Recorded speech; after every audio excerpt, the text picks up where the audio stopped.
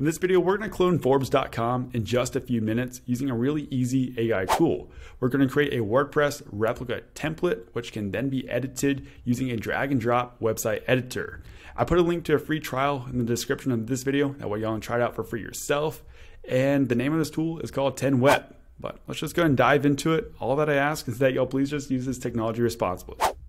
From the homepage of 10Web, once you're logged in, just go ahead and click on the AI drop-down menu in the nav bar, and then click on AI Website Builder, and then click on Generate Your Website.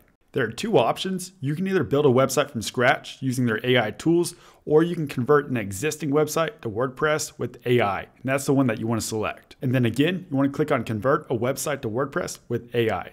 From here, simply just put in the URL of the website that you'd like to replicate. I'm putting in Forbes.com, and then just click Proceed. And yes, it's really that easy. Okay, so that took about three minutes, not long at all. Let's go and check out our website. All right, not bad. This looks really similar to Forbes.com. We even have the Forbes logo on the top up here and the red subscribe button. Obviously, the CSS and the styling is a little bit off, but for the most part, this is a pretty slick website.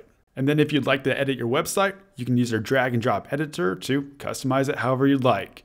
If y'all got value out of this video, go ahead and like and subscribe, and please use this technology responsibly. I'll see y'all next time.